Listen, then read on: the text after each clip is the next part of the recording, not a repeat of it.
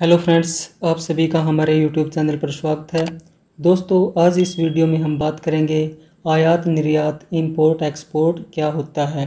तो आइए दोस्तों, बिना कोई टाइम वेस्ट किए वीडियो को शुरू करते हैं। सबसे पहले बात करते हैं आयात की, कि आयात होता क्या है। किसी भी तरह की कोई वस्तु बाहर किसी देश यानी विदेश से खरीद कर अपने देश में लाने को क्या कहा जाता है? आयात कहा जाता है। आयात को इंग्लिश में इंपोर्ट कहा जाता है। जैसे कोई वस्तु हम अमेरिका से भारत में मंगवाते हैं तो उसको हम आयात कहेंगे। इसका मतलब यही नहीं होता कि किसी दूसरे देश से खरीद कर लाने को ही आयात कहा जाता है।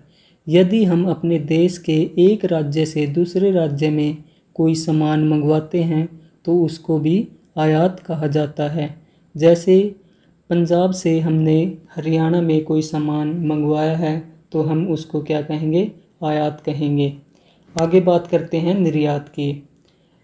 यह आयात के बिल्कुल उल्ट प्रक्रिया है। इसमें अगर हम कोई वस्तु या सामान अपने देश से दूसरे देश में भेजते हैं तो उसको निर्यात कहा जाता है। निर्यात को इंग्लिश भाषा में एक्सपोर्ट कहा जाता है। एक देश से दूसरे देश में वस्तुओं को भेजने को ही निर्यात नहीं कहते, बल्कि किसी देश के एक राज्य से दूसरे राज्य को कोई वस्तु या सामान भेजना भी क्या कहा जाता है, उसको निर्यात कहा जाता है। जैसे अमेरिका को हम भारत से कोई सामान भेजते हैं तो उसको भी क्या कहेंगे? निर्यात कहेंगे। और अगर हरियाणा से पंजाब में कोई सामान भेजा जाता है तो उसको भी निर्यात कहा जाता है। अब आपने यह तो समझ लिया कि आयात निर्यात क्या होता है, लेकिन यह भी जानना ज़रूरी है कि अगर कोई वस्तु को भेजा जाता है तो वह दोनों प्रक्रियाओं से होकर जाती है।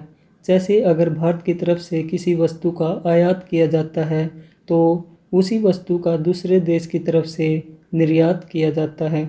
इस तरह आयात निर्यात की प्रक्रिया एक साथ ही होती है। तो दोस्तों, आपने इस वीडियो में जाना कि आयात और निर्यात क्या होता है।